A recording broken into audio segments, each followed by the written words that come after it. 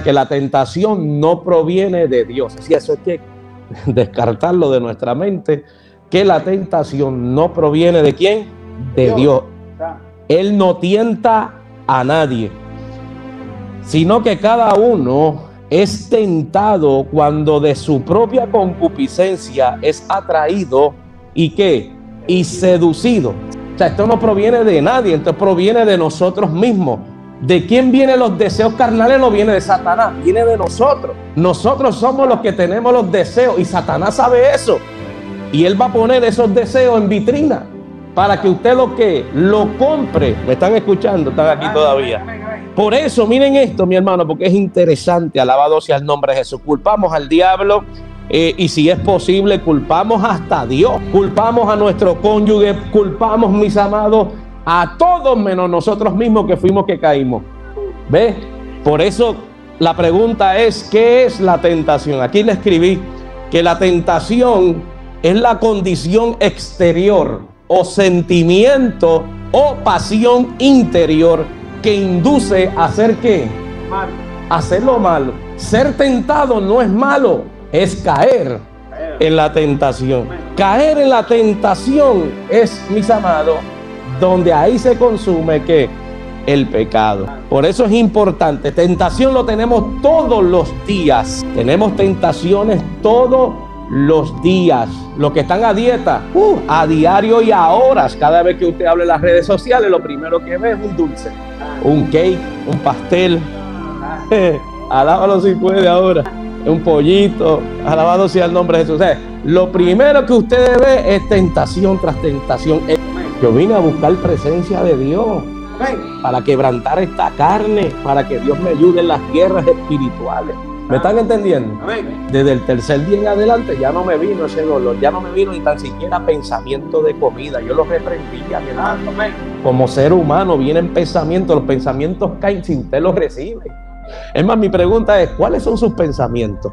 Según sus pensamientos está su corazón. ¿Sí o no? No me diga que los pensamientos te los controla el diablo. Si Él no puede leer nuestros pensamientos, ¿me van entendiendo? O sea, Él no lo puede leer. Tu pensamiento es conforme a tu corazón. Porque de Él, ¿qué?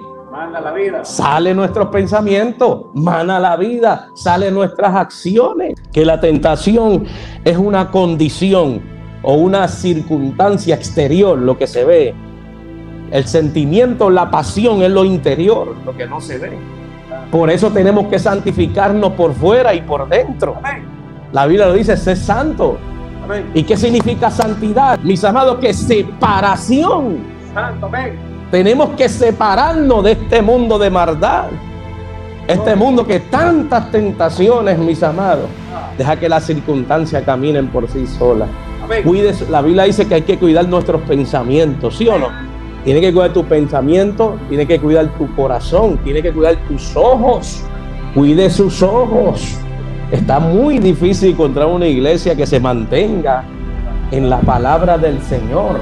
Una iglesia que se sienta la presencia de Dios. ¿Por qué? Porque las iglesias ya han cambiado. Ya no hay temor de Dios. Cualquiera que tenga adulterio, mis amados, dirige. Cualquiera que esté en... Hay más, hay gente cantando sin bautizarse. Pero yo tengo que ser como David, mi hermano.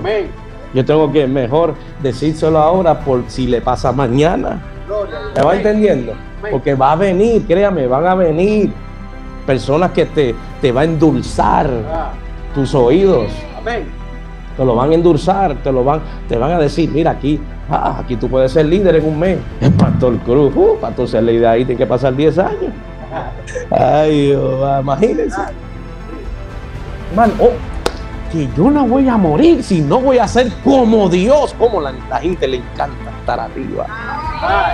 Eso nada más la convenció. Usted sabe el trabajo, mi hermano, que cuesta. Escuchen esto, es una, un alma cuesta. Le costó a Cristo la crucifixión, el derramamiento de sangre, ser vituperado, ser bofeteado, para que tú lo dejes a la noche a la mañana. No, mi hermano, no vale la pena. No dejemos que Satanás, alabado sea el nombre de Jesús, nos quite la bendición, la salvación que Dios ha puesto. Sí, la salvación se pierde. Cuidado, mis amados, con esto creciendo en gracia. Sí, lo creciendo en gracia. Que te enjugan los oídos y te dicen, no, después que uno es salvo, siempre es salvo. Mentira del diablo, eso no lo dice la Biblia. El apóstol Pablo lo dice bien claro, retén. Hello, retén tu corona. ¿Para qué la tiene que retener? Para que nadie te la quite. Tienes que abrazar la salvación con temor y temblor. No. Es más, el apóstol Pablo dice que esto es como una carrera. ¿Y qué pasa en la carrera? Que algunos se van a caer y se van a quedar atrás. Que algunos no van a llegar hasta la meta. El apóstol Pablo dice, el que llegue a la meta. En otra, otra mis amados, porción bíblica dice, el que llegue al fin, ese será salvo. Entonces la salvación se puede que se puede perder. Cuídala con temor y temblor. Satanás no quiere que usted se salve, Satanás no quiere que usted llegue allá arriba y va a poner todas las tentaciones para que tú caigas en ella. Amén. El responsable de caer en la tentación eres tú. No es Satanás, es usted. Más débil usted está donde el diablo más lo ataca. El diablo se aprovecha de ti. ¿Usted cree que el diablo se aprovecha cuando usted tenga ayuno y oración? Cuando uno ama, cuando uno ama de verdad no traiciona. Vuelvo y lo repito, el que ama no traiciona y punto.